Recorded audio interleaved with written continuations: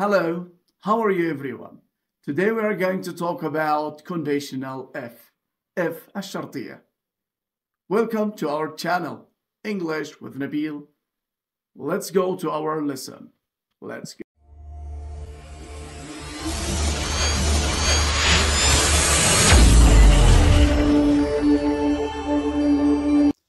Conditional if معناها if الشرطية طبعا if لها ثلاث قواعد. سنبدأ بأول فقرة. طبعا if معناها إذا. إذا حصل هذا الشيء فيوجد نتيجة لذلك. إذا حدث كذا فهنالك سيحدث another thing. طيب نبدأ مع أول فقرة. أول فقرة first conditional if اللي هي قاعدة if الأساس. طيب if you study hard. الآن إيش زمن هذه الجملة؟ الآن يوجد لدينا جملتين معنا. If you study hard هذه جملة و أو تسمى close. Another close you فراغ high marks. طبعا إذا جاءت بعد ال if present simple أو جملة في زمن ال present simple فالجملة الثانية سنستخدم will. زائدا الفعل في التصريف الأول. طيب مثلا if you study hard you will get high marks. سوف تحصل على درجات عالية أو مرتفعة. طيب أيضا قد نستخدم can أو may فكلاهما صحيحة. ولكن الأكثر استخداما هي will.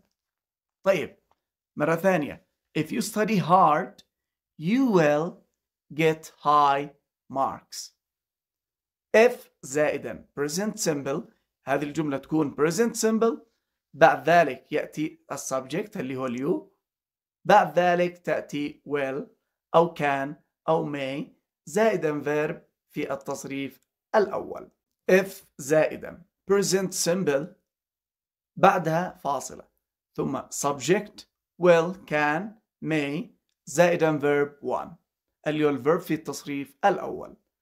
طيب هنا مثال آخر. If he eats طبعا متى نستخدم eats إذا كانت present simple وجاء مفرد. كما شرحت في الدروس السابقة على ال present simple فهنا eats تعتبر present simple if he eats a lot he will be fat. هو سوف يكون fat. بمعنى سمين أو عريض طيب if زائدا present simple زائدا subject زائدا will can may زائدا verb الآن second conditional if اللي قاعدة if الثانية طيب نشوف الآن المثال if he won if he won the lottery he would travel all the world طبعا هنا جاءت الجملة في زمن الباست simple إذا جاءت الجملة بعد ال if في ال past simple يأتي ال subject الثاني بعدها would. زائدا verb one الفعل في التصريف الأول بدون أي إضافة. No ing no ed no s no es يجب أن يكون الفعل في التصريف الأول بعد would. فهنا مرة ثانية if he won the lottery he would travel all the world. إذا ربح اليانصيب هو سوف يسافر إلى كل العالم. طبعا هذه الون هي التصريف الثاني لوين when. Won والثالث أيضا won طيب هنا القاعدة مرة أخرى. If زائدا past simple good فاصل. Subject بعد ذلك يأتي would زائدا verb one. الفعل في التصريف الأول. طبعا في conditional if اللي الأولى كان بدل الود will أو كان أو may. الآن بما أنه جاء التصريف الثاني أي أن الجملة في الماضي. طيب if he got a lot of money he would buy a big house. إذا كان لديه المال أو الكثير من المال he would. طبعا استخدمنا would. لماذا؟ لأن الجملة الأولى جاءت في الباست simple excellent الآن ننتقل إلى if number 3 third conditional if اللي هي الفقرة الثالثة لقاعدة if if he had won the lottery he would have passed the exam طبعا إذا جاء بعد الإف ها past perfect اللي الماضي التام. طبعا في الماضي التام يأتي معنا هاد زائدا التصريف الثالث كما في المثال التالي. هنا هاد وهنا won التصريف الثالث ل when if he had won the lottery he would have. هنا نستخدم would have passed the exam.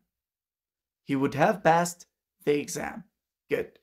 فمثال آخر if he had got a lot of money you know, he would have bought a big house good إذا كان لديه المال بكثرة أو الكثير من المال he would have bought a big house هو سوف يشتري منزلا كبيرا so فهنا جاءت بعد الاف past perfect بعدين subject بعد ذلك يأتي would have would have زائدا verb 3 الفعل في التصريف الثالث.